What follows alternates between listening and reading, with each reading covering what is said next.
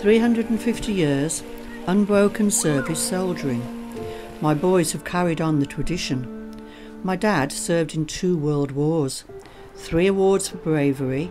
He never talked about it. 87 he was, and I'm catching him up. The city is full of stories.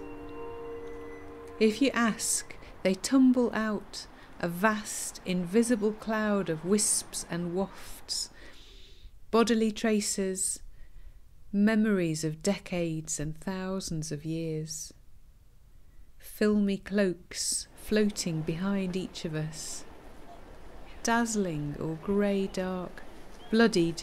or weedy workaday traceries of tools, needles, childbirth, smarts, hungers, blushes, easier to tell a stranger than to bear the frail decline of a man, once a boy, now with the longest glimpse.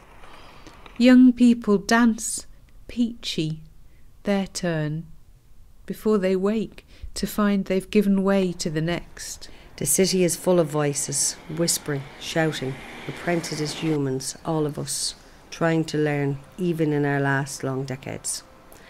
Which skills must be forged afresh, and which still hold as the old people learnt. How to read molten iron till it is just red ripe for pouring out. How to stretch the shillings to feed all the mouths. How to bear a loss that cannot be borne. How to welcome a change that you do not welcome. How to cross oceans. How to confide.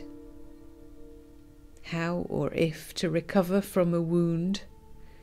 Release a bee from a bonnet. Seek out laughter. How to know when you won't win this one.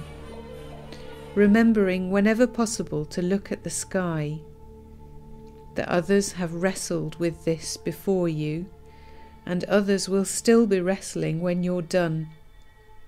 This is all we are learning to embroider a story into a hand me down cloak, and at most leave a stitch or two in those that follow.